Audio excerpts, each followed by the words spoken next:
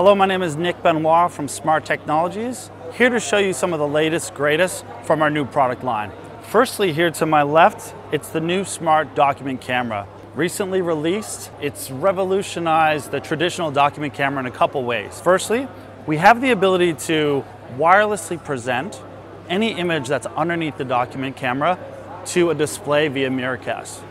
What makes that even more powerful is that it has the ability to be a wireless document camera.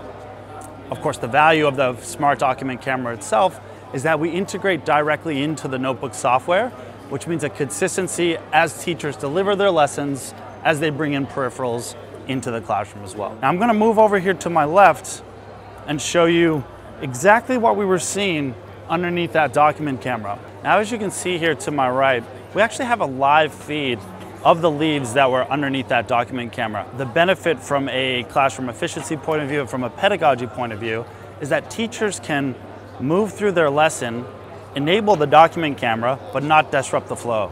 So I can not only pull these leaves in, I can actually make annotations here, identify different pieces, and have that embedded into the application itself. Now the device that we're using is also special. It's a smart podium Again, revolutionizing the traditional podium. We have both finger and pen capabilities. It's an HD image. The use case we primarily see for this is in an auditorium space. As a university professor, I have the ability to engage my audience, um, speak about my content, but have that content portrayed behind me. Moving along to one of our newer products in the Smart product range is our Smart 2075. Now this is our first non-touch smartboard, which essentially means that you have a 75-inch display, Ultra HD, with integrated AirPlay, Chromecast, and Miracast support. So in schools and organizations where they may have smartboards with interactivity in one space, users can still get a consistent user experience as they move to a non-touch environment.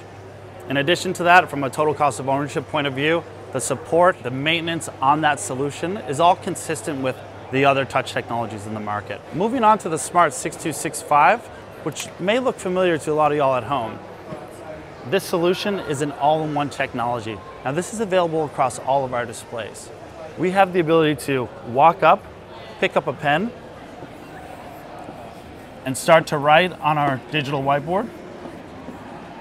In addition to that, we also get Notebook Player we get inbuilt web browser, as well as screen sharing, AirPlay, Chromecast and Miracast that you may remember is also available in our 2075. From here, I could actually pull up a notebook lesson without having any dedicated PC, scroll through, and begin to interact and engage my students. As always, my display behaves the way you would expect it to.